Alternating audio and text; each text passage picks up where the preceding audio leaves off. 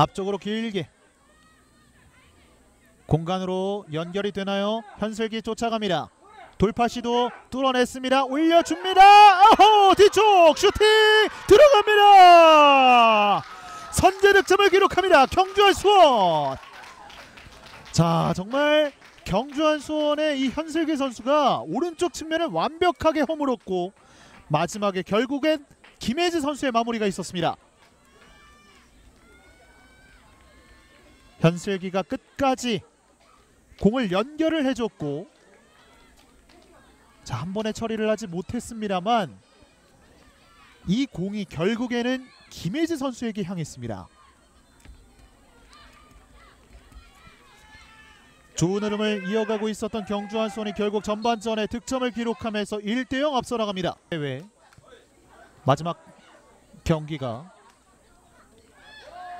현재까지 진행이 되고 있습니다. 엔게샤가 받았습니다. 엔게샤 빠릅니다. 엔게샤 박스 안쪽 엔게샤 들어갑니다. 엔게샤가 동점을 기록합니다. 스코어 1대1. 자, 엔게샤가 역시 한 방이 있습니다. 공간으로 넣어줬던 패스 그대로 엔게샤가 직접 돌파 이후에 깔끔한 마무리로 동점을 기록. 손아연 선수와 셀레브레이션을 함께합니다. 아 지금 이덕주 선수의 패스였나요? 엔게샤 선수가 정말 받고 난 이후에 단독 질주 깔끔하게 마무리를 지었습니다.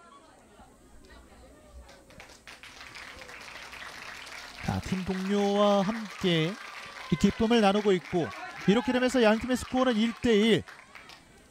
자 후반전 균형을 다시 한번 맞춥니다. 이 교체 카드를 늘려가고 있는 양 팀의 감독인데요. 장슬기 넣어줍니다. 공간으로 전달됐습니다. 강채림, 강채림 꺾어줍니다. 들어갑니다.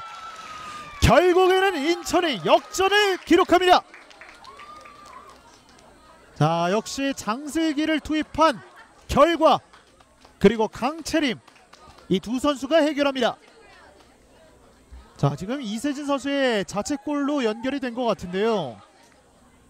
결국에는 교체로 들어왔던 이 두 선수 장슬기와 강채림 선수가 역전을 보탰습니다. 아 지금 이세진 선수가 엔게샤 선수를 막으려고 했는데 김도현 선수가 한 번에 처리를 하지 못하면서 뒤쪽으로 흘러갔고 결국에는 이세진 선수 맞고 들어갔습니다.